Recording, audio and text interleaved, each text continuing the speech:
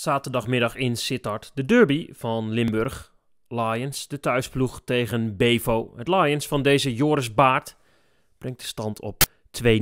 En ook de 3-1 van de hand van de linkspoot van Grunsven kansloos op zijn inzet. Bevo vorige week te sterk voor Hurry Up met deze Serras. Kreeg al de titel voor de mooiste goal van de week. In Sittard maakt hij de 5 tegen 4. Dit is Hoiting. Jordans mist nog beter de stop van de goalie van Lions. Baart vindt Steins. Verfijnd gedaan, 6 tegen 4. En langzaam Lions dat wegloopt bij de provinciegenoot Strauven. En opnieuw moet Van Grunsven, die vorige week in Zwarte Meer nog zo goed was, grabbelen. Weer de Belg, nu in de mangel en dus een strafworp. Steins tegenover Verberne. 11 tegen 5. Het verschil al 6 goals.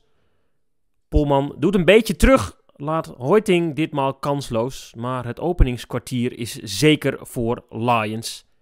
Jordans 13-8. Marge is 5.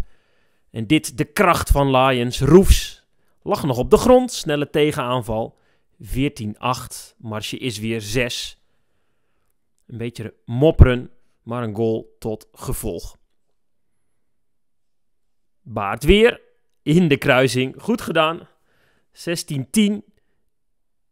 Op weg naar rust.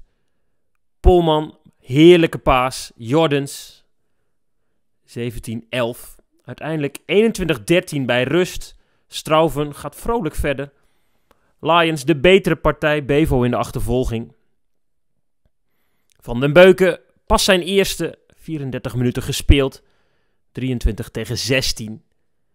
Lions kan de derbyzegen ruiken. Eusen, een van die jongelingen die het hartstikke goed doen.